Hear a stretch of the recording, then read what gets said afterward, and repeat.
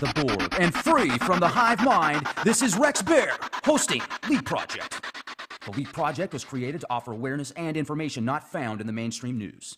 With over 90% of the world's media controlled by only six enormous conglomerates, many people today are looking for more accurate information. The Leap Project offers a refreshing approach to the brain drain media. Check back daily for new content as we thrive to bring you the cutting edge in news, current events, on scene video footage, interviews, and most importantly, the truth.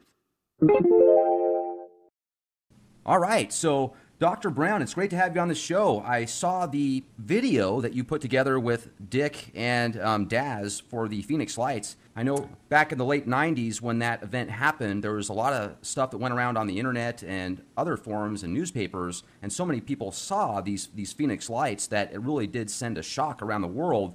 But then a couple weeks or a few weeks later, when the government came out with the official reason as to why it happened, they tended to mock those that thought it might be some type of extraterrestrial encounter.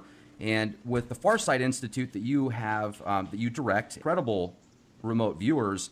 And when I watched this video, I, I watched the, you know, first you had Daz up there putting together actually what he saw, and he was writing it out on the uh, on the whiteboard, and he kept putting together these geometrical shapes that looked like pyramids. You know, it looked like a uh, like a triangle basically. So, but I just wanted to ask you, what was it that made you decide to remote view Phoenix Lights? Well, Rex, look, it's it's an interesting it's an interesting question because everyone always asks why do we pick a particular project, and you have no idea how many suggestions for projects were emailed every day, meaning people say, "Why don't you do this? Why don't you do that?" So, you know, why do we do what we do? That's a real good question. Well, with the with the Phoenix Lights, it was clearly an extraterrestrial type of target. By the way, when the government came out with its explanation, it said they sent a flight lieutenant out to have a news briefing. And it was six months after the Phoenix Lights. So the government was silent for six months. And the news media was essentially, mainstream news media was essentially silent as well. However, the, the lights themselves were not just lights. First of all, they were witnessed over five states, including Sonora, Mexico, and potentially hundreds of thousands of people but definitively over Phoenix alone, where they hovered for the longest time, was for over an hour.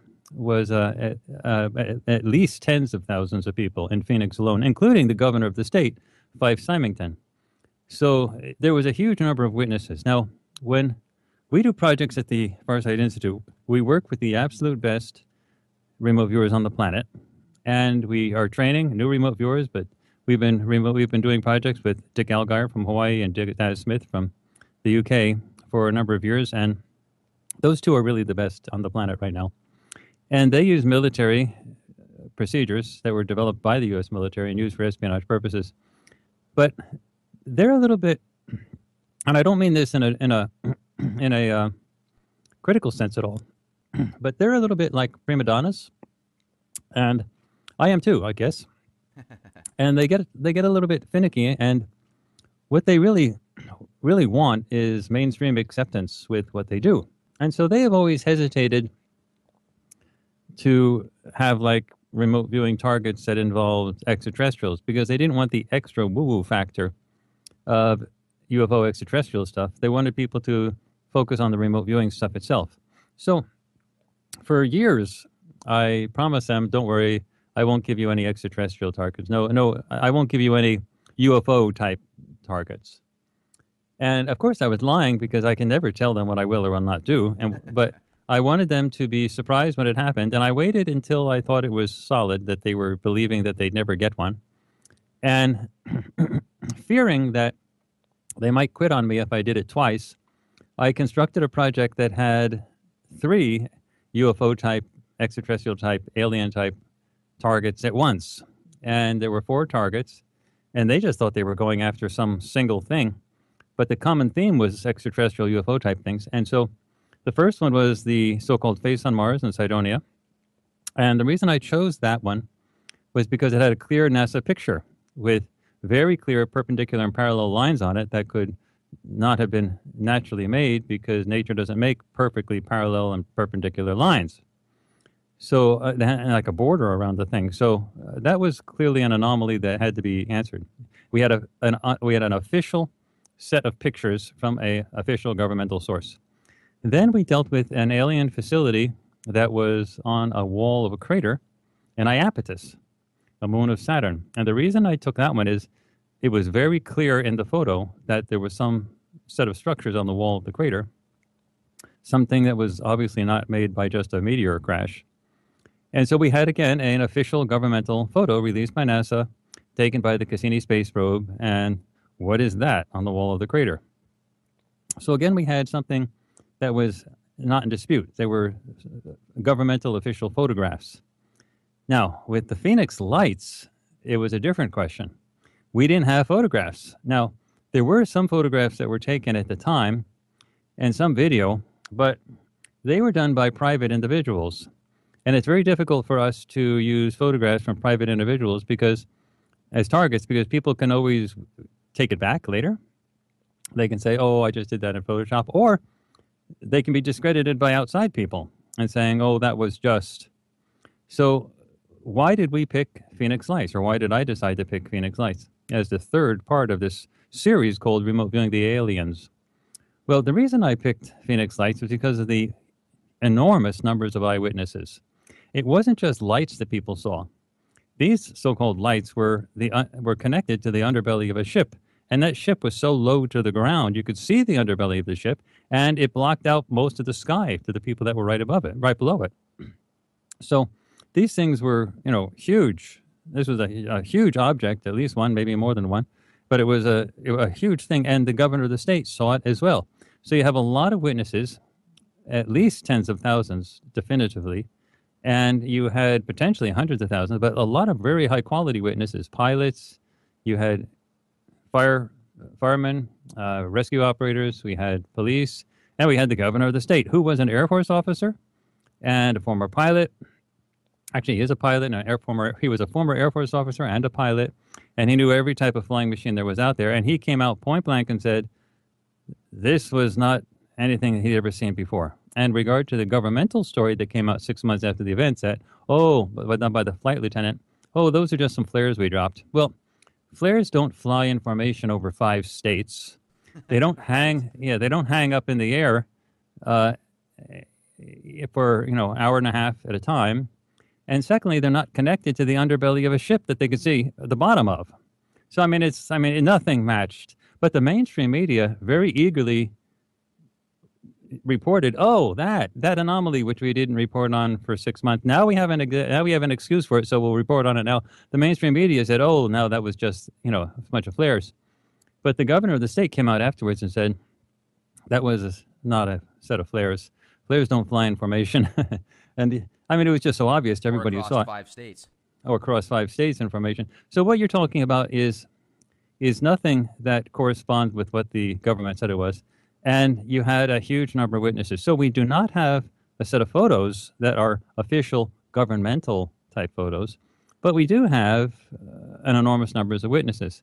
Now, uh, with regard to the photos, I might as well mention something. The Phoenix Lights event. Actually, there were a, a few. They happened. There was some similar types of things that happened on other days, but that happened on a Thursday, March 13th, 1997. Now, back in 1997, Rex, there wasn't the type of situation you have now where mm-hmm. everyone has a cell phone in their pocket and the cell phone has right. a high quality 1080p camera. Right. Back in those days, you had to have a camera to do it. And it was a film camera, not a digital camera back in those days. And very few people walked around with cameras in those days. And the few people who took photos from right underneath the craft, apparently there was a lot of radiation or something coming from the craft because the, the photos just turned out like all white. And for those people who were far enough away that they weren't affected by that, there were some video and still photographs, photographs that were made. But the close photographs had problems with the, the film picking up something that sort of, it was like in the old days when you put your film through an x-ray scanner that was really powerful, it, you know, the film gets affected. So uh, I don't know if it was X-rays, but there was something that messed up the film. So anyway, we didn't have a lot of photographs, but it didn't matter. Even if there were a lot of photographs, we could not have used the photographs for the project. We based the project on the te- definitively tens of thousands of people probably close to 100,000 people under Phoenix alone that saw the stuff for over an hour, including the including the governor of the state. That was enough of us for us to have verifiable content that you know it was indisputable because of the number of witnesses.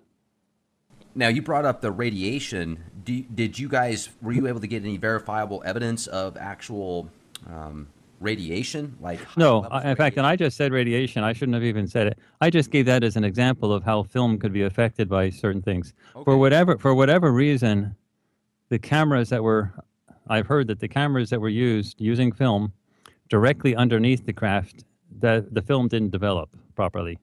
So the, the only films that did develop, develop properly were ones that were farther away, off to the side. Sure. So there there weren't that many cameras to begin with. That were people didn't walk around with cameras back in those days. And secondly, the few people that did try to get pictures, uh, some of them didn't work because they took the pictures from right underneath, and the ones that did work were off to the side. So we have very, relatively sparse photographic evidence of the event, but we have enormous eyewitness evidence of the event. I mean, it was literally it was a big event in Houston. I mean, people were talking to each other on the phone. They were saying, "Come out, look." I mean, the governor heard about it on the phone from a phone call, and he actually drove out to the the, the things were hanging around long enough for him to actually drove out drive out to a a nice place where he could look up and see the whole thing. So it wasn't like it was sudden and if you didn't see it in a minute or two, it would be gone. It was like a long, long time, and people had a chance to drive around and talk to each other on the phone and tell people to go out, go, decide what was the best place to look at these things, and so on.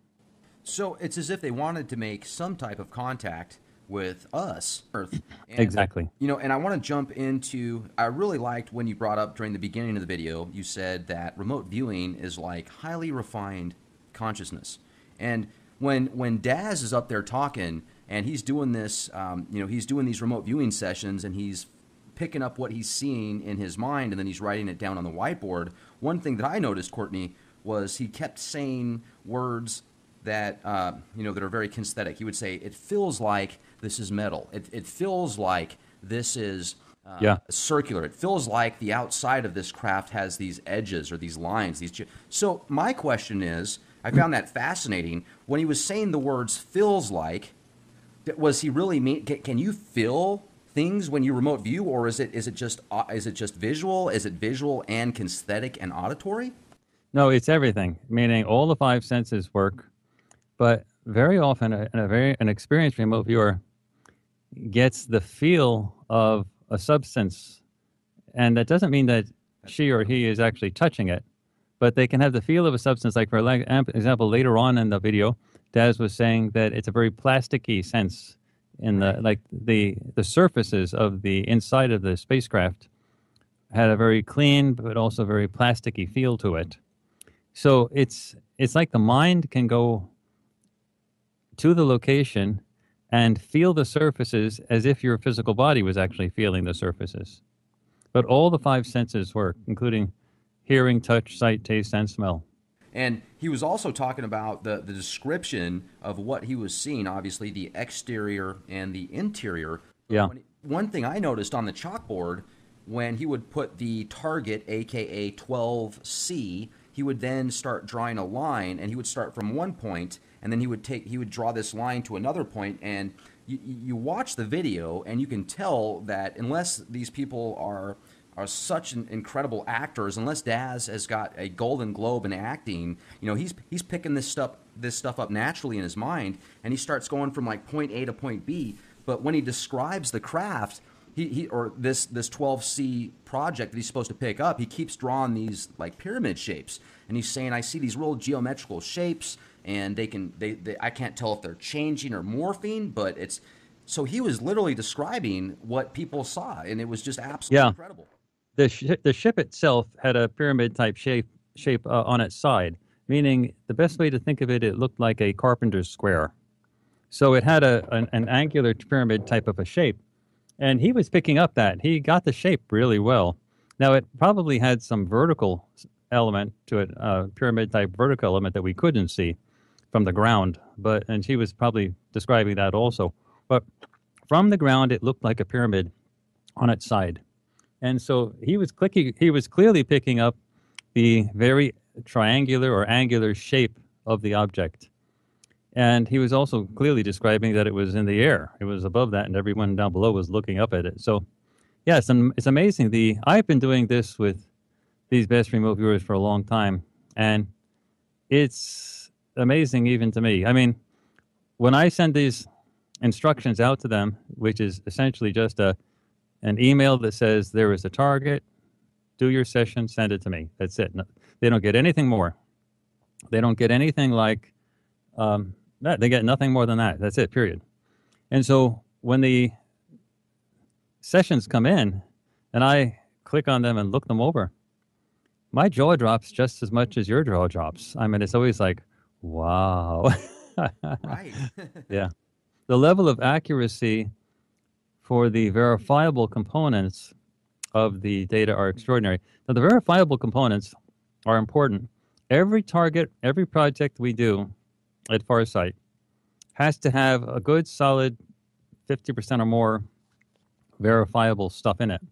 Verifiable stuff is stuff that we know about the target that's absolutely definitive and not in dispute. For example, in the Iapetus target, we had a clear photo of the crater on Iapetus. So we knew it was a barren, icy moon on Iapetus with craters and meteor junk all over the place, and that Saturn was above it and space was above it, and it was a barren, rocky moon with mountains and craters and everything all around that. And there was this thing on the wall of one of the craters that we were looking at. So all that was verifiable.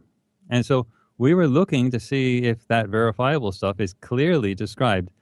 And these remote viewers did an amazing job. In fact, Dick Allgire's session on the Iapetus target was probably one of the best sessions I've ever seen, perhaps one of the best sessions anyone ever has ever anyone has ever seen, with respect to drawing the verifiable components, describing the moon, the barren moon, the, the wall that he was inside the crater, there was a wall of a crater, that there was meteor stuff all over the place. Now both Daz and Dick both both found out both described it as it was off planet, it was a meteor crater, and they said this explicitly.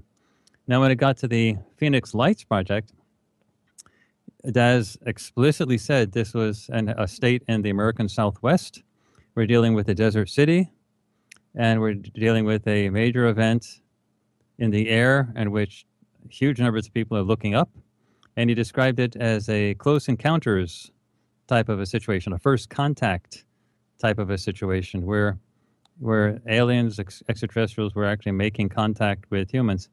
I understand also there was a group of humans on the ground at that time that were actually trying to communicate with these people on the ship. And so uh, they might have been led by uh, Steven Greer, uh, the guy who runs the CSETI project. Right. And so that was, you know, going on apparently at the same time. And so that is picking up sort of a first contact type of a setting, sort of matched that type of element. But also, you know, his description of Phoenix and the city and the desert, this American Southwest, uh, uh, and the ship and the sky and the lights on the ship and everyone looking at it. I mean, that was like right off the scale. It was really great. And the same thing with Dick. Dick got the same type of stuff. These viewers are so great to work with because, in terms of the verifiable stuff, it's like I get carbon copies from both of them. Now, Dick Allgire is working in Hawaii. Daz Smith is working in UK on the opposite side of the planet, and they have no communication between them whatsoever. No emails or talking or chats or anything like that while the remote viewing is going on. And then they send me sessions that are like carbon copies of each other. And so that tells me right away that the quality of the data is excellent. And then I look at the new data. That's data that we don't have verifiable stuff for, which is once they once they've described the desert city, American Southwest, and the thing in the sky, the lights, everyone looking at it from below. They had to get all of that right, plus a lot more that I'm mentioning just now. Then they start describing, well, let me go look at this thing that's in the sky that everybody's looking at. And they both describe the same type of thing. They both describe the craft, a ship. They both go into the ship. They both describe the same occupants of the ship. They describe a, a big guy, uh, you know, with a tall fellow with long hair, long blonde hair, and a bunch of shorter people around him that are like helpers. and they both describe the exact same type of persona inside the inside the uh, inside the ship, the personnel inside the ship. So that's really interesting. So so that's unverifiable, but it's it's fascinating that the verifiable stuff for both sessions was totally correct and it was duplicated. Both people, both Daz and Dick got the same stuff. And then when they went into the ship, even though we can't verify the stuff in the ship, the personnel, it's fascinating that they both got exactly the same stuff.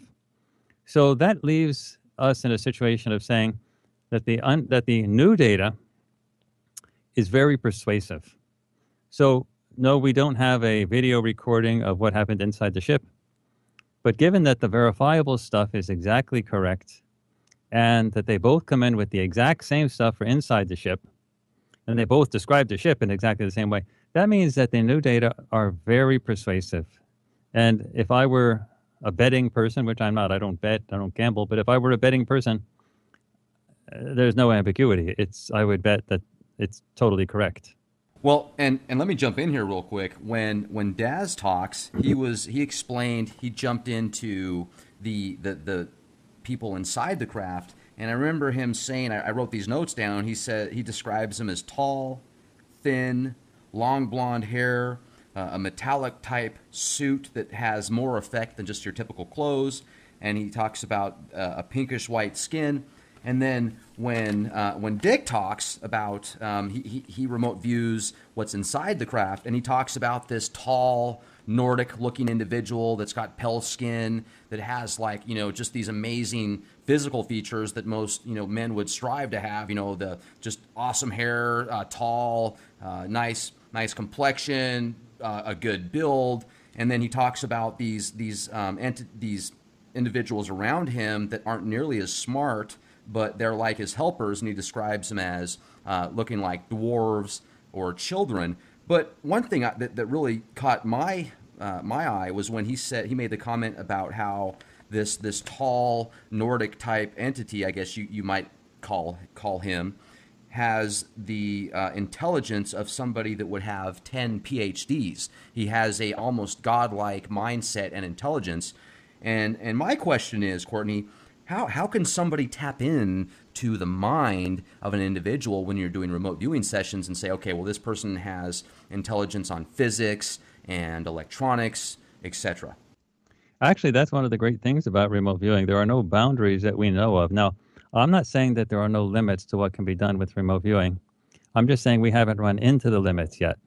So when you remote view something, you can you know, a very good remote viewer goes, goes right into the mind of whoever is there and actually can communicate. If you were to look at, you know, they can describe the emotions, the the thoughts. Do, do uh, they feel the it? Gen- do, uh, do they feel the emotions?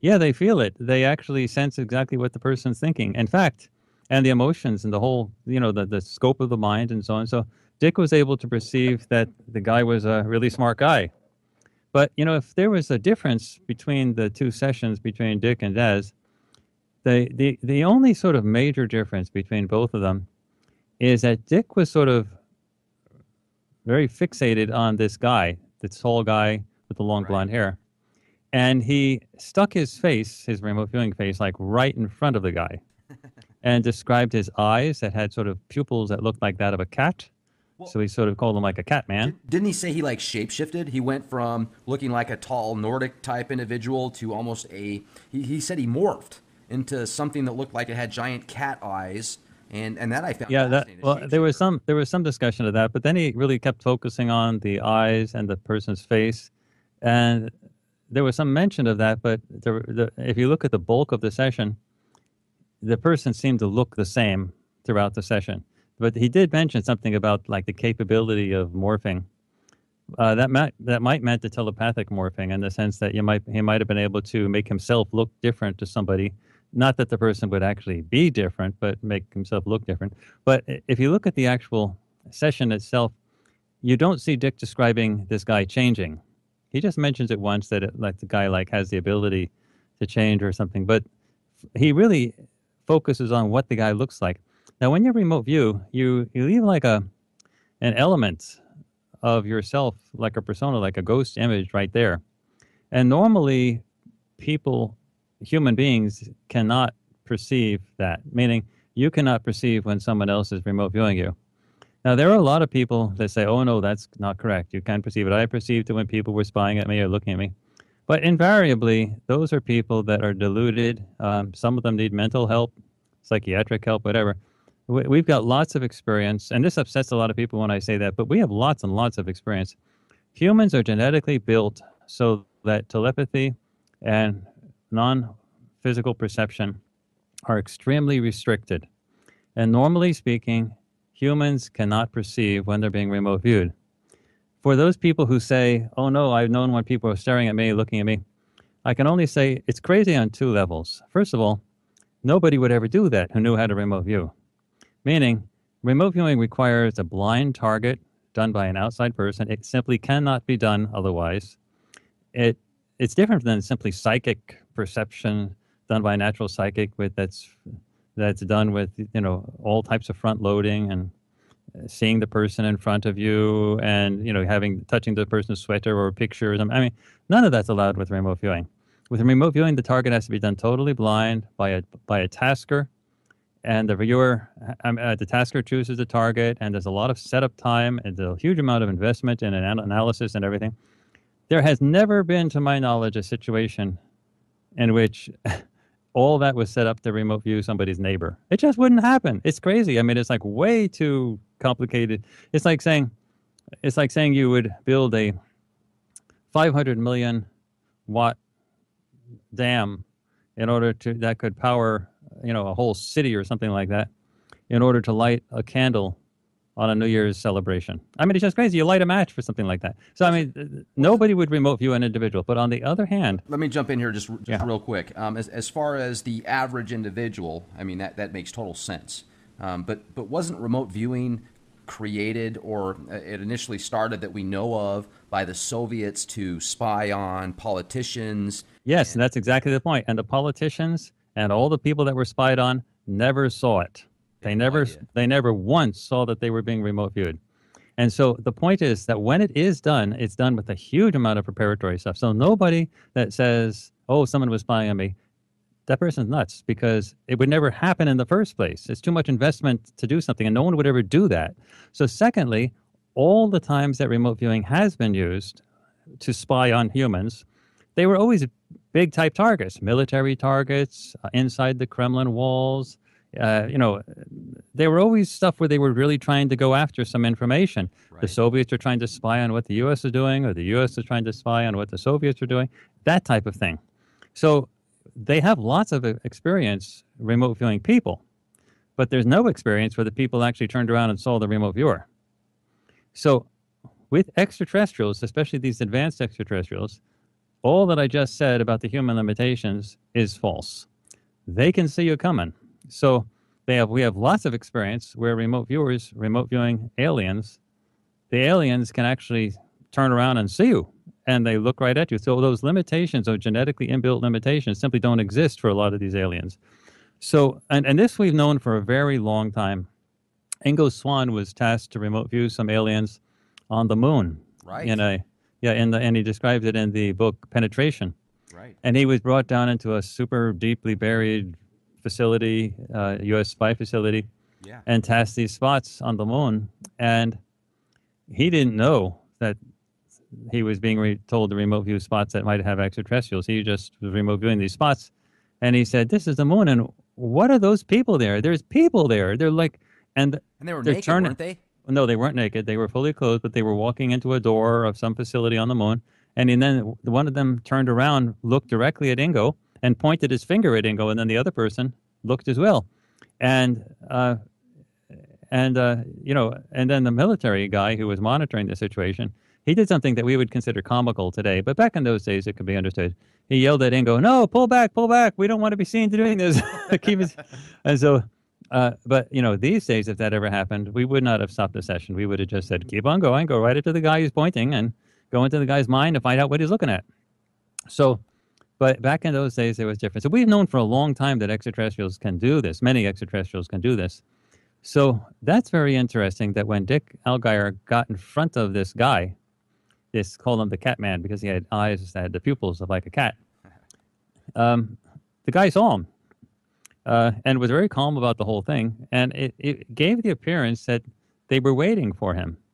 Now, this is very interesting, Rex. So just consider this. This was something that was happening March 13th, 1997, Thursday. And these guys were apparently waiting for a remote viewer to show up, two remote viewers to show up, coming from the year 2015. and then Dick actually initiated the conversation and said, Okay, man, speak to me. And the guy started to give him a talk. He just started to give him a physics lesson of how they got here. And he described how the nature of time and reality is not what we think it is. And he described that. Anyway, that was a fascinating type of physics lecture on the nature of reality. But the point is that back in 1997, they were actually doing a light show, communicating physically with people on the ground. And they might have been doing this in part because of the group of humans that were on the ground trying to work, trying to attract them.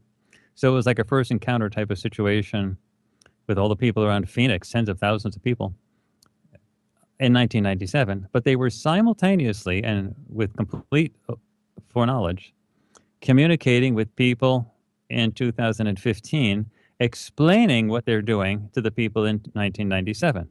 So there was a time loop that was involved. And that's the most fascinating thing. They didn't mind explaining to people in 2015 what they were doing physically with people in 1997. And to them, that was like, okay, that's nothing unusual about that. So, but in, in terms of the normal set of events that we do, that that you normally see in, in, in human life, including science fiction. That was really odd. That was really interesting. That was sort of a high end type of wow moment. Yeah, Ingo Swann seemed to have. Uh, he, he certainly is ahead of his time. I, I read that. I read bits and pieces of that book, and, and I could have sworn that it said he, um, when when these men in black or these people that picked him up and put him in this underground type base, uh, he remote viewed something that he said, "Hey, there's there's naked there's naked people in this green mist," and and they said that it was on the on the moon. But I definitely need need to redo that. Uh, yeah, I, I don't remember that at all. He definitely he definitely ran across aliens walking, uh, entering a door of a facility on the moon, but I don't remember anything about naked. Well, let, us jump back to this this session on, on the Phoenix Lights, and um, I wanted to bring up the, the description of the interior that Daz talks about. First, he you know he, he he draws all these pyramids and these triangular shapes, and he says these real he sees these real jagged lines and geometrical, um, you know, straight lines, and then he he remote views the inside of it, and he brings up how it's very cyclical, uh, circular, and the life forms that are inside this craft um, walk and talk and do everything with just complete. I, am trying to look at the right, think of the right word here to use, but they, they do not waste anything. No energy, no no everything that they do has a purpose. It's very fluid. And then when Dick describes the interior of the craft, he describes even the, the same tunnel on the inside, and it, it's almost perfect as to what Daz brings up but I noticed that the Dick didn't talk a lot about the outside of the craft. He didn't bring up the the geometrical, like the, the straight lines and the the actual triangular shapes, but he really got into the interior of it, which ma- which matched what Daz said, as well as the the individuals on the inside of it. But, but actually, actually, Rex, let me make a comment here. Uh, Rex, Daz is a graphic artist by profession. That's how he earns his money. So when people remote view, they go in with the skill set that they already have. So Dick Allgire is a reporter for 30 years. He was the face of the news in Hawaii for 30 years. He was like one of the main newscasters for all of Hawaii. And he's a celebrity newscaster and he's retired now, but you know, for 30 years that's what he did.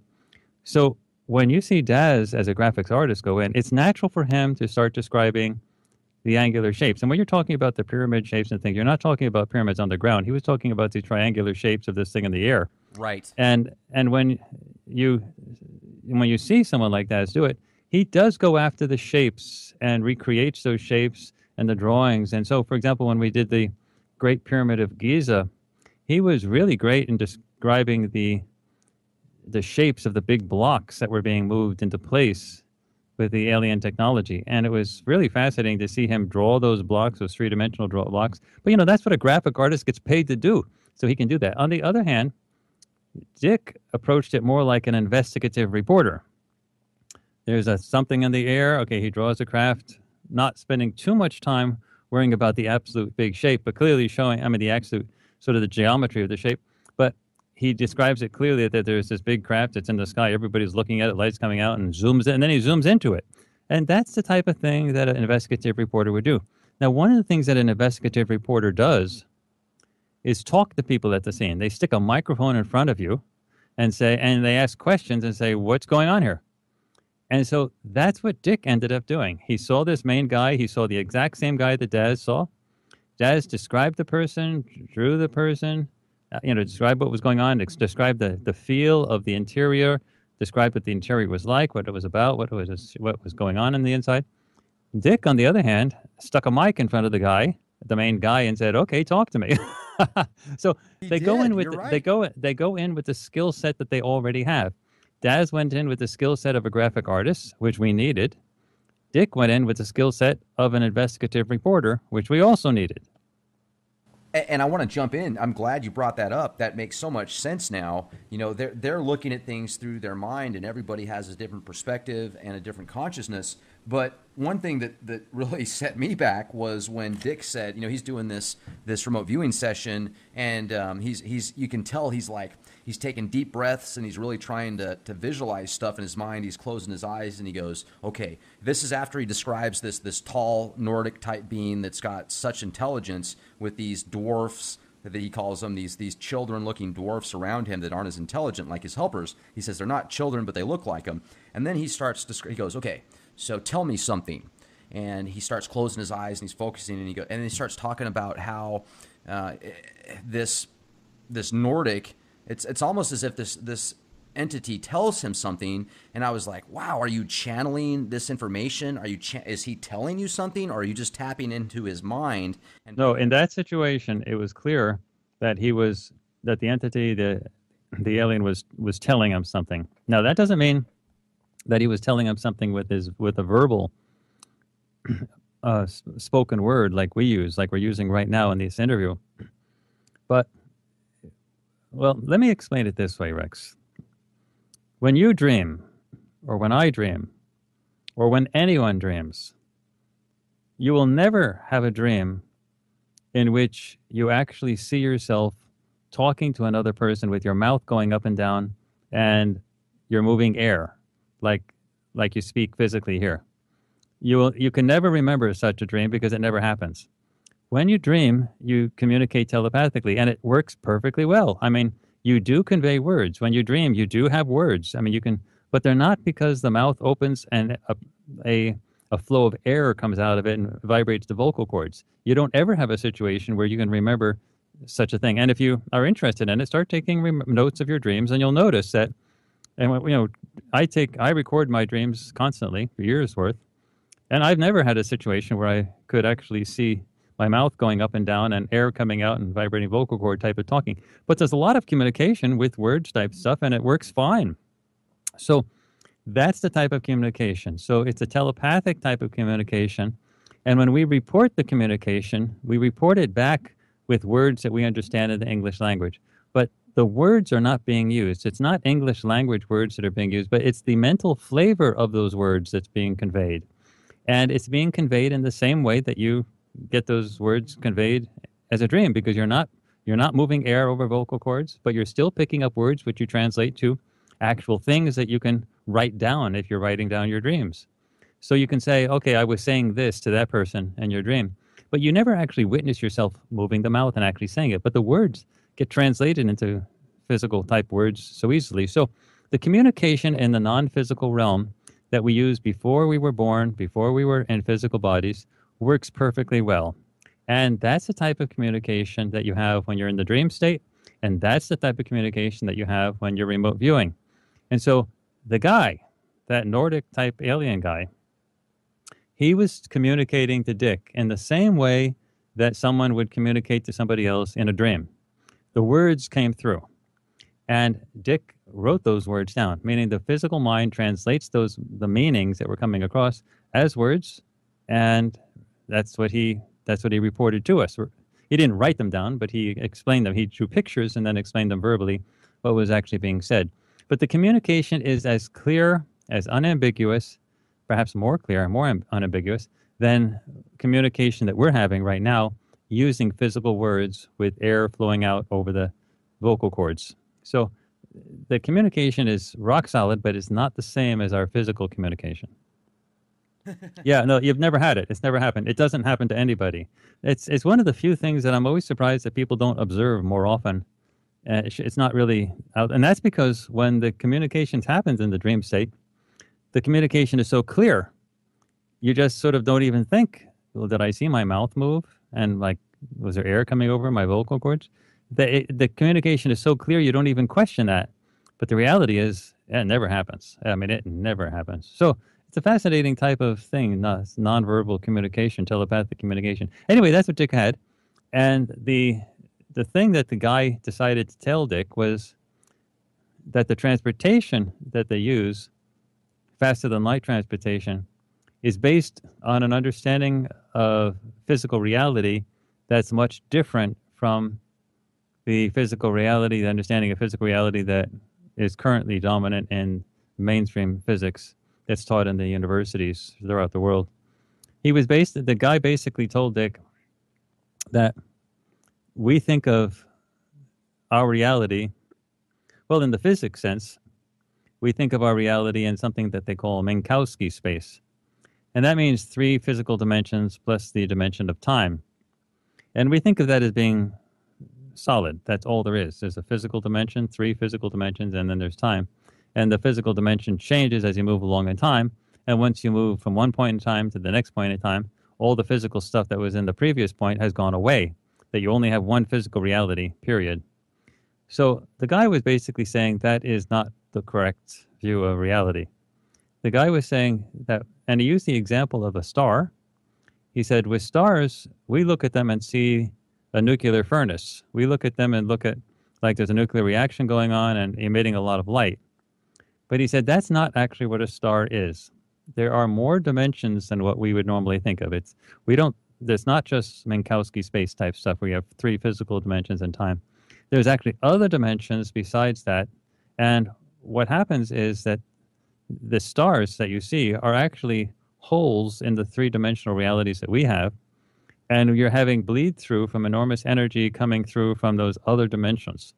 And so, what you get with a star is a connection to those other dimensions. And that's how they travel. They don't travel linearly like we think of movement from one spot to the next by walking across your living room floor or sending a spacecraft into orbit and shipping it out to Mars or some other place.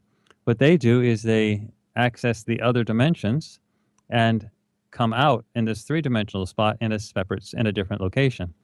This has been a I'm a mathematician. Uh, I work at a in the social science program of a major university. I don't do any remote viewing work there, but uh, nonetheless, I am a mathematician. This is something that's very well understood among mathematicians. And it was described in some popular literature uh, uh, in a short story called The Flatlanders. And the basic idea is that for people living on a flat surface, you don't realize that there can be an interior. For example, let's say you're an ant and you're walking on the surface of a balloon. Well, as far as you're concerned, that surface of balloon is a two-dimensional space. It's just a flat, well, it's not a flat surface, but it's a curved surface. But as far you can walk on it, but as far as you're concerned, it just goes right, left, forward, and backwards. There's no depth to it. But us in three dimensional space look at that ant that's crawling on the surface of the balloon and saying, that ant is such an idiot. You know, that ant doesn't realize that it could go right through the balloon if it had the ability and get to the other side more quickly. You don't have to go around the outside of the balloon. So that's what the flatlanders are. The flatlanders are people that believe they are on a surface and all of reality is just there. But these other dimensions, the dimension that gives depth to the balloon, is not known. It's it's it's something that the ant doesn't understand actually exists. So the ant only thinks in terms of transportation by walking around on the surface. Whereas if you had a super intelligent ant, the super intelligent ant might be able to figure out that the other side of the balloon is actually a lot closer than than the uh, than the other ants were thinking. And so, if you could access that other dimension, that depth dimension, you could get from one spot to the next spot and circumvent the long walk around the outside. So basically, that's a type of thing that the extraterrestrial was conveying to Dick. And this idea of stars being holes in the fabric of Minkowski space, that three dimensional space, accessing these other dimensions, is actually very similar to our Big Bang theory in the sense that what you got with the Big Bang theory is a huge rupture in the wall of space time, or the this the Minkowski, the, what we would consider the concept of Minkowski space, and this huge amount of energy from other dimensions, from other realm, emerges and fills out, populates the universe as we see it, and it's still apparently expanding from that Big Bang type of initial starting point. And there's controversies about the Big Bang idea itself, but nonetheless, there's still pretty much understanding that the universe is still expanding and that there's a rush outwards. And so that type of emergence of all of this energy coming from one central spot is a type of generic phenomenon that we see with the stars itself and that we see with spacecraft going from one spot to the next in apparent defiance of the laws of relativistic physics, which says that that type of thing is not possible. But with the context of these other dimensions, it is possible. And I wanted to bring up the uh, during the sessions that Dick and Daz did, especially Daz. He was talking about how he felt these uh, life forms, he calls them, these shorter mm-hmm. individuals mm-hmm. that had brown skin, brown hair, around five yes. feet tall. But he said that they were like these primitive. He felt that they were primitive, and they were looking up at this this craft or this incredible anomaly, and and just going wow. And the people that were actually in the craft were just like, eh, you know, this is normal for us. This is yeah. no deal and then and then he talked about different timelines. He's like, I can't tell if this is two timelines or if this is one. And he brought and then another thing that just I, I, I was trying to wrap my mind around was when he brought up the he's like, okay, there's this underground thing, and he was talking about something underground, and then Dick talked about this like light beam or something that connected the the uh, craft to the ground. What what's your interpretation on that, Courtney? Well, you know, that's some of the complexity of the overall sessions. And sometimes it's better for me not to offer an interpretation for some of these complexities because I don't have an uh, understanding of all the stuff that comes across in these sessions. So that's why it's good for people to actually look at the sessions themselves. Now, mind you, in the old military days, all remote viewing sessions were done with paper and pen and they were dreadfully boring to watch being done, and not very few people wanted to actually see them on paper and pen with paper and pen because you're just looking at writing on the writing, writing, and trying to interpret the writing. So moving to video changed everything because when we started to do all of our sessions on video, people get to see the entire project. And like when you saw it, you were fascinated and were really interested in having the interview. It was like you had questions, you had because the, the remote viewers are describing it live right then and there. They're not relaying it to something that they remember having looked at. That's right then on there on camera, totally blind to the target, yet the level of accuracy is so extraordinary. The, the, the audience is at the edge of their seat, dropping their mouth to the ground. I mean, it's like amazing stuff. So when you ask questions like that, I'm saying, you know, one of the reasons we like presenting these video remote viewing projects is so that everybody can be their own analyst. Everybody can see the data, all of the data, come in just as it was originally done, and have that sort of numb mind shock experience of, whoa, this is amazing, and then try to figure these things out. So you're asking some really great questions. And I, I don't think it's actually really valuable for me to speculate on all of them because this is where the value of publishing the original data is all about. People get to watch these things and figure these things out themselves. It's not something that they have to rely on an authority to tell them what to believe. They can see it all themselves and say, "Well, I saw it and I know what I I know how to interpret that." So you're asking questions that actually point to some of the basic elements of the way we do remote viewing now, which is it's new, it's exciting, it's edgy, it's different. And when you watch the sessions live on video, which are available right on our website, Courtney uh, uh, uh, at, at, at www.farsight.org, F-A-R-S-I-G-H-T.org, you can link to it as a DVD or as a video on demand immediately. You, it's a life-changing experience to actually watch this stuff because you're watching the original data. You're not watching somebody like me explaining and just like take it on raw faith. You're actually seeing it original by itself, and it's beyond exciting. It, we've entered one of the most exciting periods of time for remote viewing research that has ever existed. I must add, Rex, that we have a new project on the in the works, and those people who should want to get prepared for it, you're going to have to hold on to your seats when we get to it. It'll be as earth stopping as all of our other projects, and the best way to get prepared for it is to watch our previous projects, especially the projects like the uh, Phoenix Lights, Cydonia, Iapetus, but also 9 11, the 9 11 events, and also the Great Pyramid of Giza project, which is available now for free on YouTube. And you can get to that from our website as well, farsight.org. And also the um, Atlantis project, which is also available for free on YouTube. So learning about us before these new projects come out allow the audience members to more fully appreciate when we come out with these brand new things. And I tell you what's coming out, you need to be prepared for. So uh, it's good to actually watch these things and learn about remote viewing because we're on a roll and we're really enjoying doing these projects. And it's an exciting time to be alive. Rex, I want to thank you so much for inviting me here. It's been great. It's been fantastic. Thank you. Very special thank you to our guest tonight. For all of you that had the opportunity to be here with us, if you enjoyed the show, follow us on YouTube, youtube.com slash clandestine Time Lord, for the most recent interviews, videos, and podcasts. Or you can check us out on the World Wide Web, www.leakproject.com. Would you like to be a guest on our show? If you have information that the world needs to see and hear, send us an email. Guestbookings at leakproject.com. Thank you, everybody. This is Rex Bear with Leak Project. Stay safe and be the change you want to see. Good night.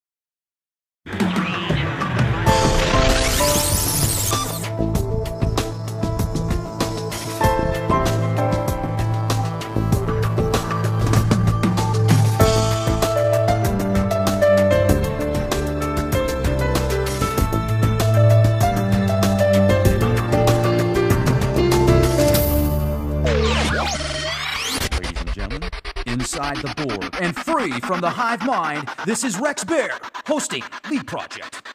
The Leak Project was created to offer awareness and information not found in the mainstream news. With over 90% of the world's media controlled by only six enormous conglomerates, many people today are looking for more accurate information. The Leak Project offers a refreshing approach to the brain drain media. Check back daily for new content as we thrive to bring you the cutting edge in news, current events, on scene video footage, interviews, and most importantly, the truth. All right, so Dr. Brown, it's great to have you on the show. I saw the video that you put together with Dick and um, Daz for the Phoenix Lights. I know back in the late 90s when that event happened, there was a lot of stuff that went around on the internet and other forums and newspapers, and so many people saw these, these Phoenix Lights that it really did send a shock around the world. But then a couple weeks or a few weeks later, when the government came out with the official reason as to why it happened, they tended to mock those that thought it might be some type of extraterrestrial encounter. And with the Farsight Institute that you have, um, that you direct, incredible remote viewers.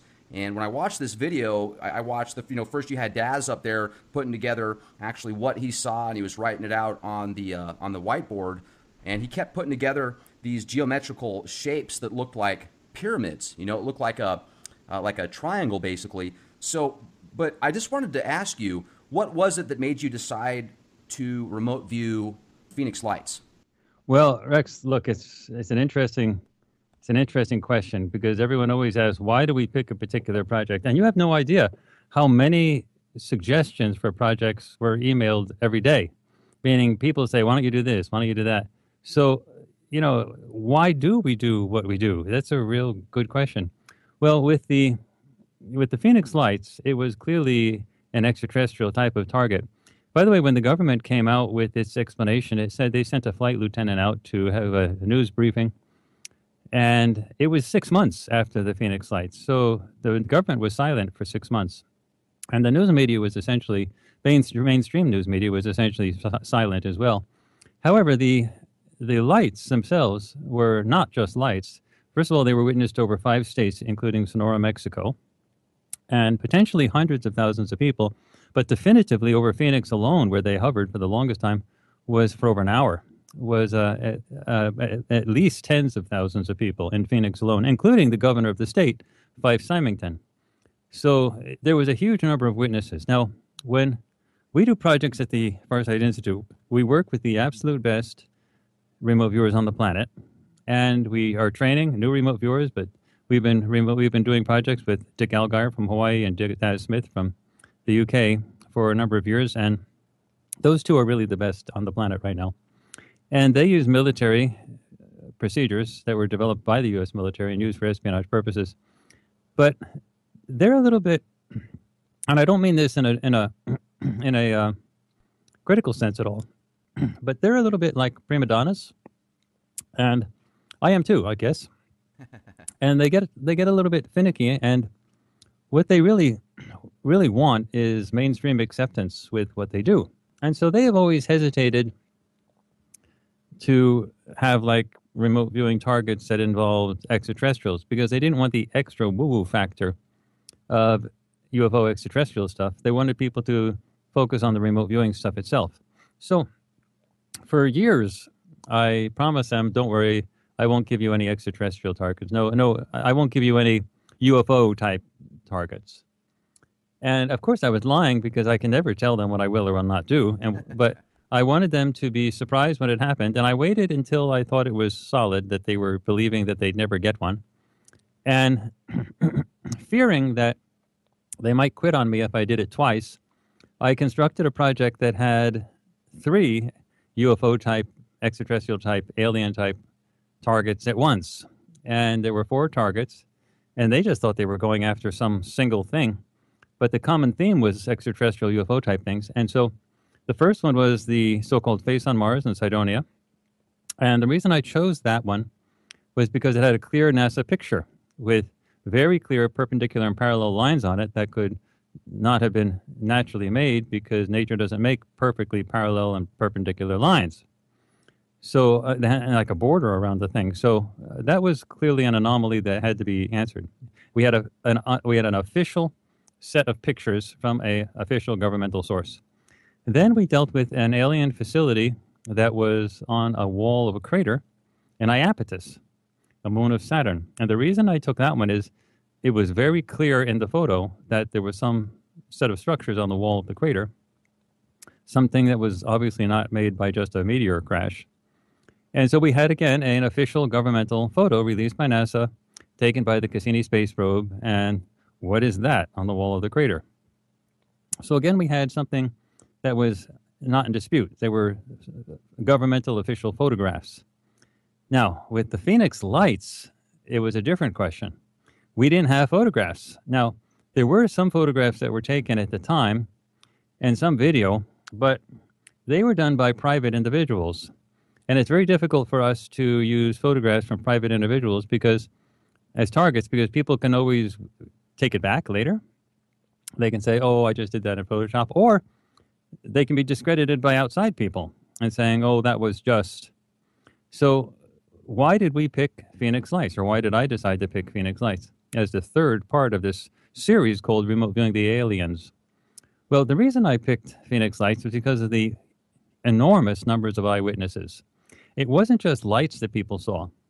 These so-called lights were the uh, were connected to the underbelly of a ship And that ship was so low to the ground, you could see the underbelly of the ship, and it blocked out most of the sky to the people that were right above it, right below it.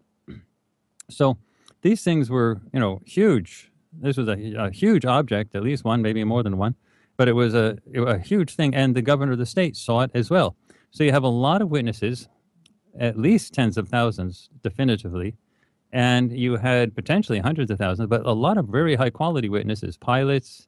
You had fire firemen, uh, rescue operators. We had police, and we had the governor of the state, who was an Air Force officer and a former pilot.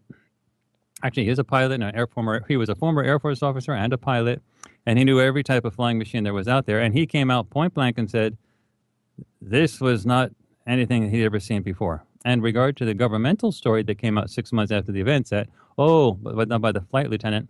Oh, those are just some flares we dropped. Well, flares don't fly in formation over five states. They don't